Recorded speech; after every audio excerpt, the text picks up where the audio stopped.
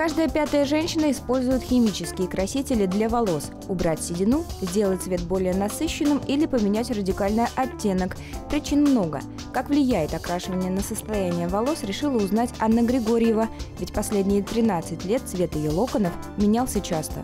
Я обесвечивала часто очень волосы.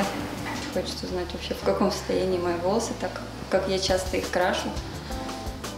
И узнать, ну, чем можно им помочь, так сказать.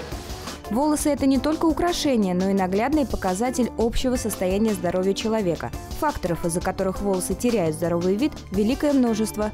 Узнать их состояние поможет врач-трихолог. Трихолог – это врач-дерматолог, который занимается диагностикой, профилактикой и лечением заболеваний волос и кожи головы те волосы, которые отросли, вы с ними можете делать все, что угодно. Вы можете их стричь, выпрямлять, завивать, окрашивать, прибивать к стене.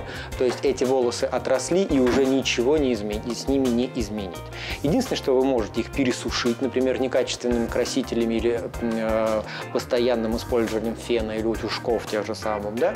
Соответственно, волос станет э, ломкий, э, он, он будет у вас отламываться, да, то есть и будет э, чешуйки раскроются, и будет это некрасиво. Для диагностики состояния волос и кожи головы доктор проводит фототрихограмму. Процедура проводится в два этапа. Этап первый. Специальным триммером врач выбривает на голове участки волос в двух местах лобно-теменная и затылочная зона. Площадь выбриваемого участка около 1 квадратного сантиметра. Для того, чтобы в дальнейшем было легче найти эти участки, на них ставят татуажные точки контрастного цвета. Ко второму этапу приступят через 48 часов. За это время волосы успевают вырасти примерно на 1 мм. Саму процедуру фототрихограммы мы проводим через 48 часов. Это требуется для того, чтобы отрос волос, мы потому что оцениваем отросший волос с фолликулом. Спустя два дня происходит второй этап. Волосы в подготовленных ранее участках кожи окрашиваются специальным красителем.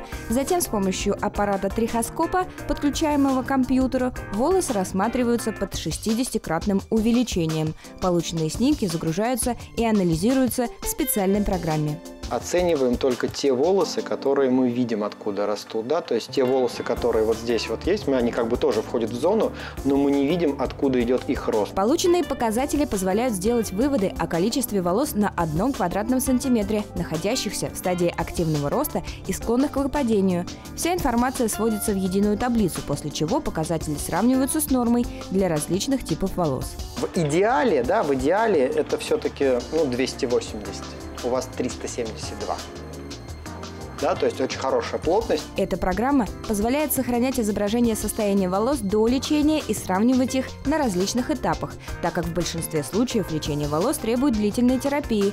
Для точной постановки диагноза и назначения лечения потребуются дополнительные анализы, которые врач-трихолог назначает индивидуально для каждого пациента.